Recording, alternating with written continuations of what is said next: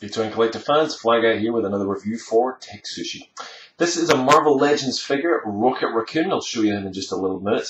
Uh, rather than buy all the Marvel Legends figures for this to get the part, I wasn't really a fan of some of these. The uh, uh, Jean Grey uh, and some of the Wrecking Crew guys wasn't really a fan, but I did want Rocket Raccoon, and so thankfully the guys at DorksideToys.com sell him uh, and some of the parts separately. So I really quickly snapped that up and got that shipped along with some other figures as well. So uh, very gratefully do that because it saves me a lot of money and hassle, that's for sure.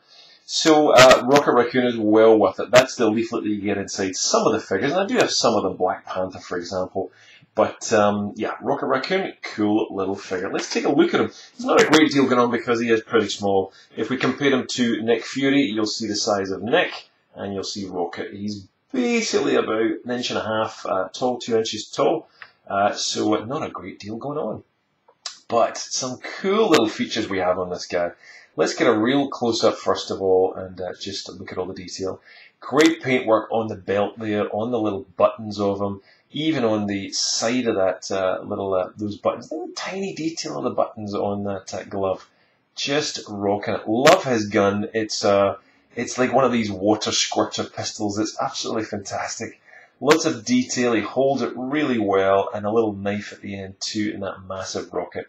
And uh, even all the detail on his face too. All the teeth, the little gold eyes, and uh, a very cool feature is this: um, the jaw can close. So um, lots of cool little bits and pieces there. Who knew? Nice, nice little touches from Hasbro. So excellently done. Uh, on the back of him, not a great deal to report, but still nicely sculpted.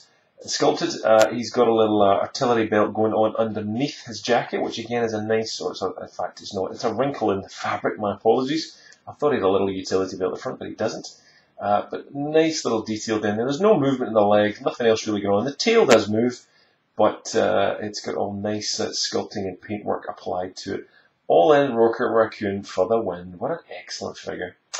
So uh, let's take a bit of a better look at him. So he's got his weapon there. He's got his movable ball jointed head. Yes, he's nodding, he is. And he's also got that epic uh, mouth which opens up. So really cool going on there in terms of articulation.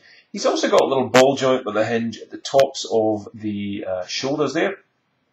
You'll see at the, uh, there we go, little hinge there for the uh, elbow, and he's also got these swivel paws. So a great deal of detail going on there. Same on the other arm. He also has a midriff swivel, so again, pretty detailed. Nothing going on in the legs. You can't move anything in the legs, but you can move the tail up, move the tail down. It's basically on a ball joint, so lots and lots of movement there for uh, Rocket. But uh, with the movie up and coming, and now that I've just reviewed a few weeks ago with the Marvel uh, Legends um, my name is my I've slipped. My brain is just not working into this. 40 degrees here, and it's just so hot. I, my brain is just freezing up.